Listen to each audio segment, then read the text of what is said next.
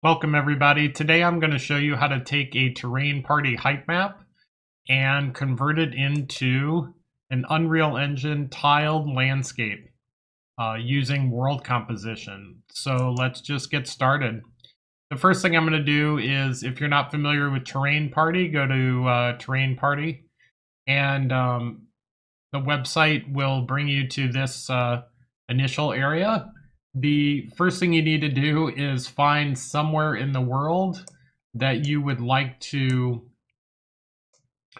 download the landscape. And I'm going to look somewhere outside of, uh, I could do Denver. Let's go out to uh, the Vegas area. There we go, Red Rock Canyon State Park. Let's go ahead and try this area. Um, so what I'm going to do is just center it right in the middle here. I'm going to choose download. Uh, the map you're looking at is really far from the selected area. Would you like to select the center of the map? So what this is saying is you can drag around a selection from when I when I first opened up the website. And because I didn't move it over here, now it's saying, would you like to move it here? And so I'm going to say yes. Now I'm going to give it a name. I'm just going to call it GNV my initials. We're going to say OK. And now it moved my selection uh, to this area. So you can see the area selected is here and it downloaded a zip file. So what I'm going to do is I'm going to open this up and I am going to extract the contents of the zip file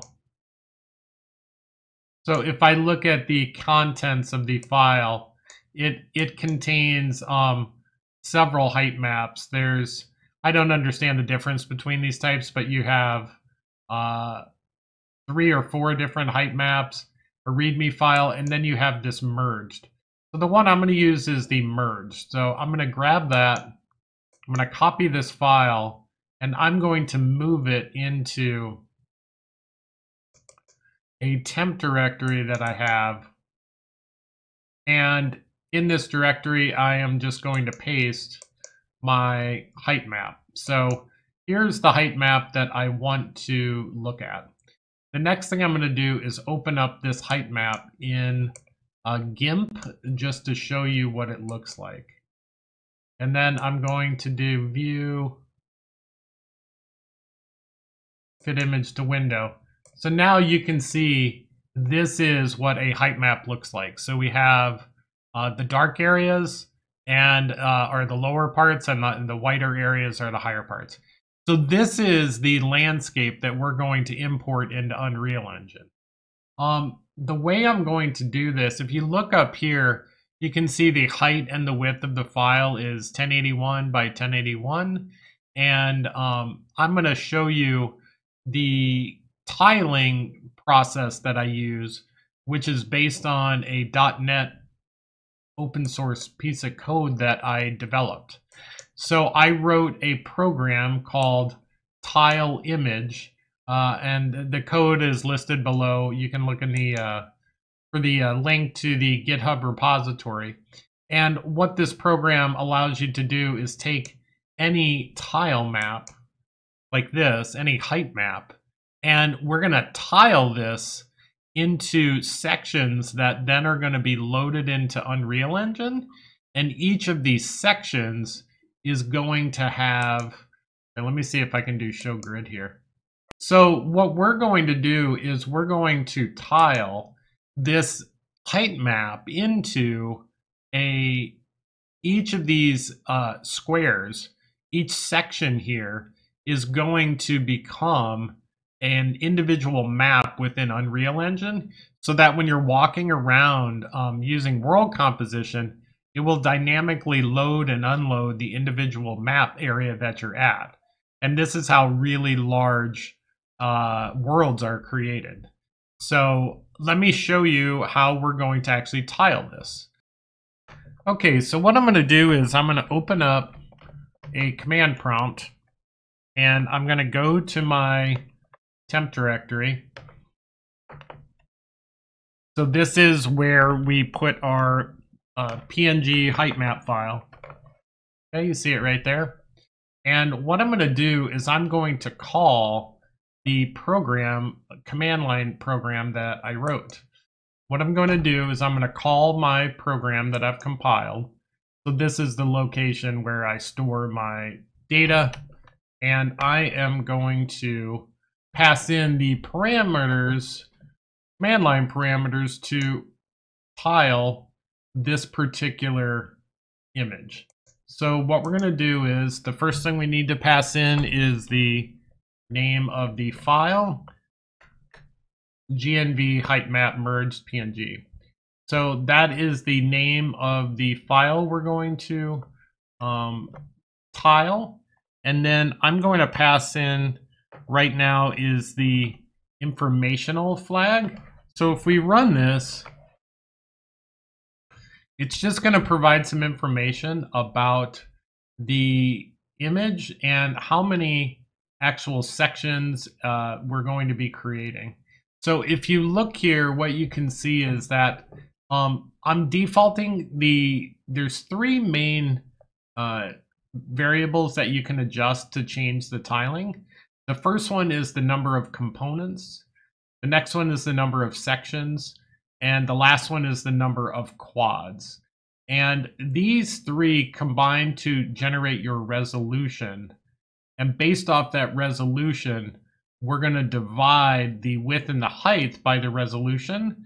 And that tells us how many tiles we're going to have.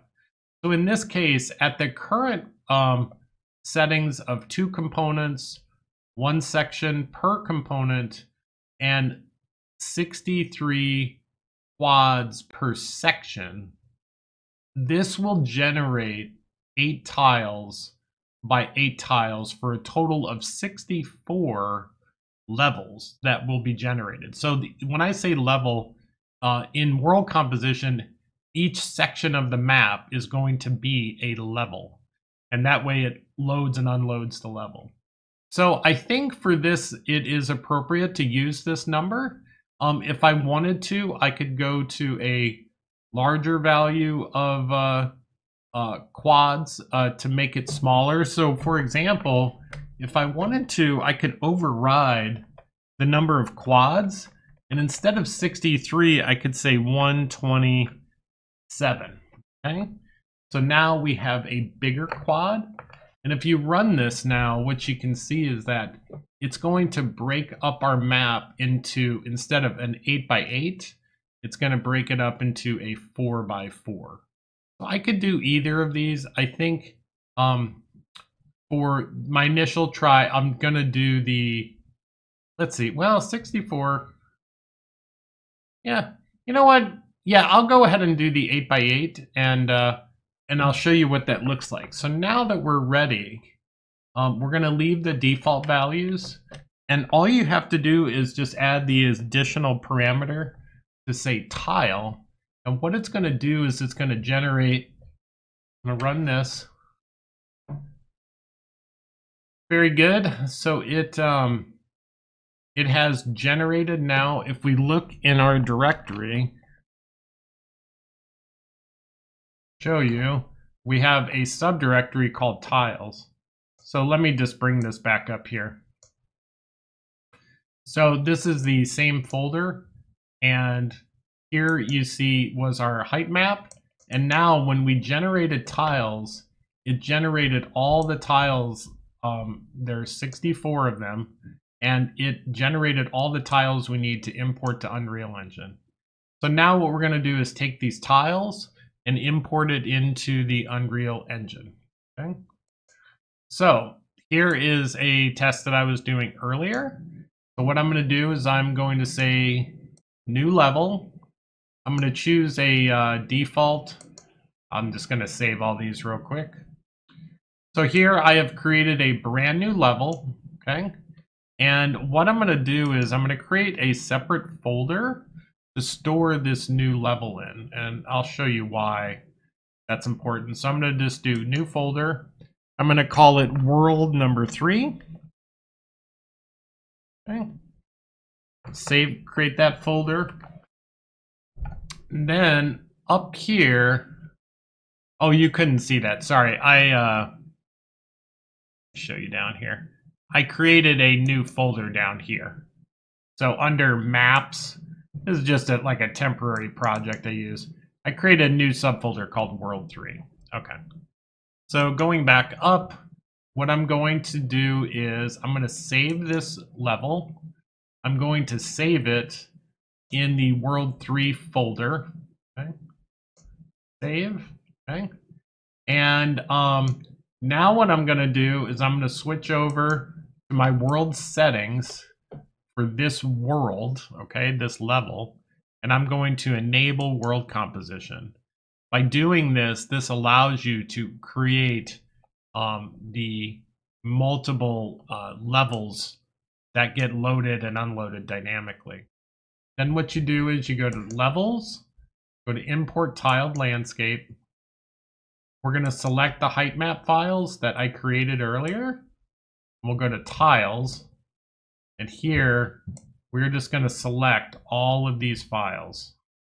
Okay, so I select all of our files, so 64 files. And what you notice is this import configuration uh, recognizes that um, we have a couple possible configurations, but it, it's identified that these were the settings that we used. So 63 quads, uh, two sections, and one component. Those were the defaults. Um, if you watch my other video, this is related to world machine, uh, a setting for world machine. I'm going to uncheck this flip tile Y coordinate. And based off my previous experience with Terrain Party, I'm going to lower the Z scale from 100 I'm going to lower it down to 50. Okay. Now you may have to adjust these for depending on your height map. Um, and what it is saying is that if you don't like how tall your mountains are or the hills, then you can lower down that scale. And that way they don't look so uh, so large. So all you do now is just say import. Need to stop clicking on OBS import. And what it's going to do is within that, within the folder, that world three folder, it's actually, you see right here, it created a uh, subfolder. And under that subfolder now, it has imported all of our tiles. So each one of these, if you hold it over, it's a level, right? So each one of these is now a level. We're going to go back to the other view real quick. And you see under uh, levels, we have our persistent level, and then we have all of these sublevels. What I'm going to do is I'm going to select them all, and I'm going to load them all. Not what I wanted. I'm going to load them all. And by doing that, we will now be able to see what our um, uh, world looks like. Now you'll notice it looked a little weird when I first came in, and that's because we're looking at the underside. and uh, all we need to do is just come up like this, and here is our landscape, which now has been imported. And um, we can see that this is this is the landscape that we've imported straight out of world terrain. So what I'm going to do is I'm going to save everything. Okay, we'll just save these out. And then I'm going to show you what it looks like when we're uh, walking around. So now that you have your terrain imported, you can, um, let me show you what the, this is the world, um, this is the world composition window that you can get to. Let me show you. If you go, uh, you go up here and you click on this little button, it says Summons World Composition. That opens up the window that I was just showing you. It opens up this window. And within here, you can see that all of these uh, tiles represent an individual level. So we have one, two, three, four, five, six, seven, eight, right? So it's eight by eight. And that is what we had expected. Um, you can see that here's this nice ridge of mountains. It falls off down uh, down on the, uh, the lower right. And if we go back to our other map, you can see here is that same view, right? So this is sort of the uh, alignment that we have. So here's our ridge of mountains. So if I right click down here and say play from here, it's going to bring my character down here. And uh, that's it, folks. You have successfully imported a terrain from somewhere in uh, Nevada and uh, by doing that, you've pulled it into World Machine, or not World Machine, into Unreal Engine. So um, please uh, go out. I I know I'm sure uh, that a lot of people have struggled with this. Um, I don't own World Machine, and and I'm pretty sure a lot of other people don't either. And I really had a hard time figuring out how to tile things. And by using this uh, using just this little widget that I wrote. Um, I made it open source, so it's free to everybody. Uh, please feel free to leave comments or questions, and uh, I hope uh, I hope more of you can get some benefit out of this. So, just a, one last note is um, you have to be able to have uh, to be able to compile this. Um, I I use Visual Studio Community Edition. Um, I think you probably can compile it using uh, the Visual Studio Code as well. Um, but once you get this compiled, um, it does require some NuGet packages. Um, I use two packages specifically. One is the command line parser, and another one is free image. Um, I don't know why that one's not. Oh, it's not showing because I had this uh, freeimage.net I'm using and command line parser. So these two packages allow me to manipulate the uh, manipulate the image and this one just handles the command line stuff. So once you get this compiled, let me show you what it looks like. Yeah, so once it gets compiled, you just have a few, you have the executable, the freenet uh, image and free image, um, the command line stuff. So these are the files uh, when you compile the program. And uh, you're just running this command line image right here. So I will uh, provide more uh, information out on the GitHub site uh, regarding the command line options. Don't forget that if, uh, if you like this kind of content, please subscribe and take care. Bye.